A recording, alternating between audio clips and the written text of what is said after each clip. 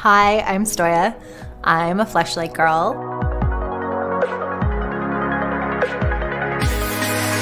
I think it's more that fleshlight.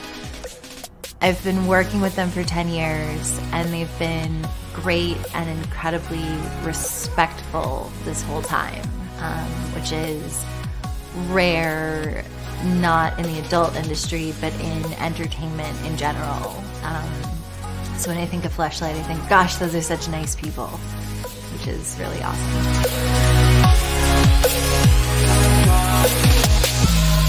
I have dated people who slid into my DMs. Um, sometimes it works out for a while. Sometimes it turns out that they're um, not quite seeing you as a person. So, you know, like any interaction for any woman.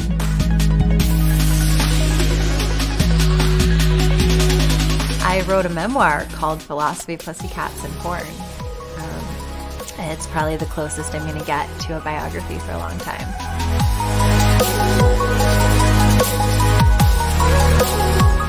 I were an animal, I would be a cat because me. Um, I, I don't I don't know how else to describe that. I like warm places. I like lounging on warm things. Um, I've I've been known to rub my cheekbones on people affectionately. Um, I ooh, I spent like literally 15 years trying to roll an R, and now I can kind of purr.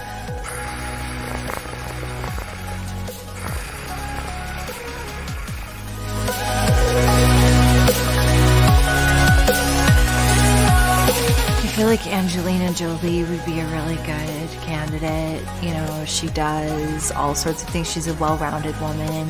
Um, and, you know, a lot of the fleshlight girls are like entrepreneurs or directors or you know, writer. Um, so, in addition to their, their porn career and their fleshlight, so I feel like she'd fit right in.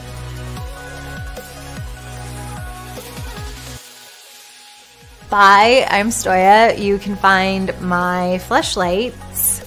There's multiple multiple replicas of various orifices, some with unique textures. Um, specifically, the Destroya and the Epic. Yes, I decided my asshole must be epic.